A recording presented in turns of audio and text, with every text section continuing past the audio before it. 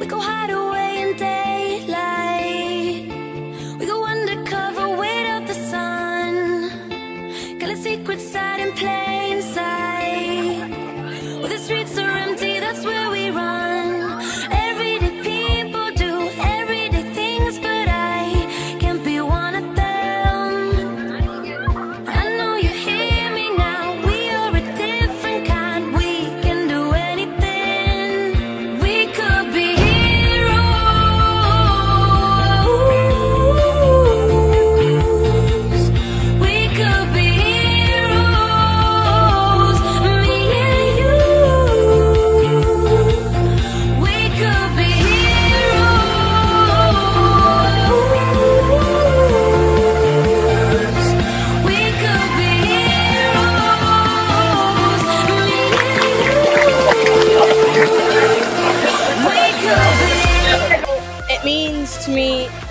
like how they love me as a friend and how supportive they are and how they raise awareness for epilepsy. Not everyone does that.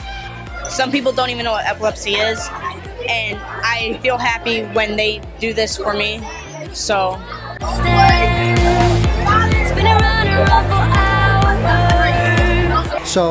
I thought, what other better way to get him excited about it and encourage him and get other students as well to realize, you know, what we can do to support other others in the community as well as our school community.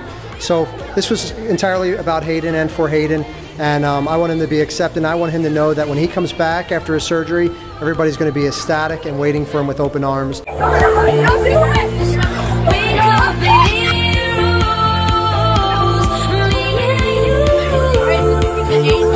Hayden's one of my best friends, and not I didn't think a lot of kids were gonna shave their heads, so I wanted to support him.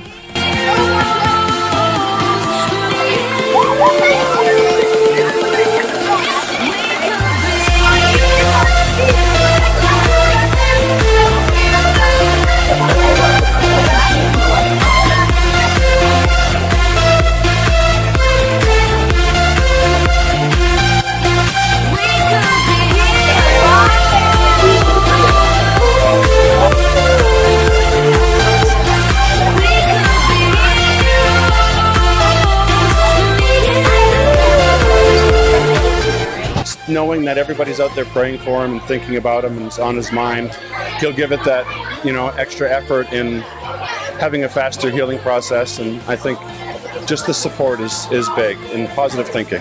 They're all supportive. When he has the seizure, they ask, uh, what can they do to help? They don't point fingers and laugh.